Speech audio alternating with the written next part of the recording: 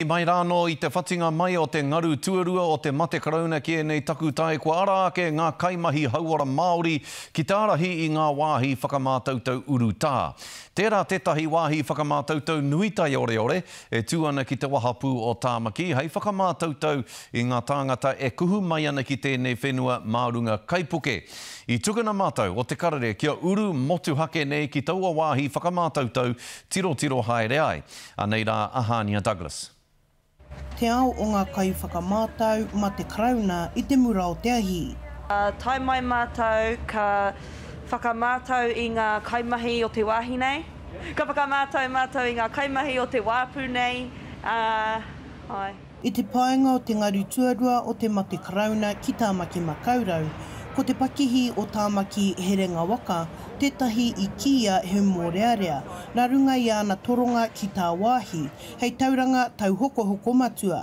I think also from this second wave also too is that we've kind of learnt things from the first wave and how we can probably be quite proactive to make sure that our our Māori whānau and their tamariki and their whānau in a whole are well supported out there in the community. He raukura a Javan Rivers Hall, katahi anō ka wehe mai i te wharekura o Hoani Waititi Marae, ā, koia tētahi o ngā kaiaro mātai kei te mura o te ahi. I te tīmatanga i āmai mai ahau, pēnei au ka, ka pā ki au te mate nei, ā, heoi, ka kōrero mātou ko ngā nēhi, ko te tākuta, he pai noi hō, kei te maumātou i ngā ārai waha, ngā krapu, ngā ngā kahu nei. Our young people are very nifty on the little hiko and that, and they're so good at, you know, data entry in there and they're so fast, faster than us sometimes. So um, having that knowledge and that expertise of those of our rangatahi, and I think also um, getting them to kind of give back to the whānau and to the people in the community is a blessing for them as well.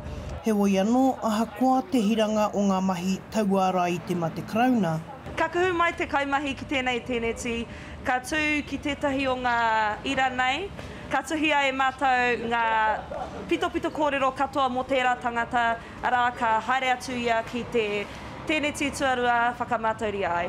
You've got to have the right equipment, um, everything's got to be sterilised.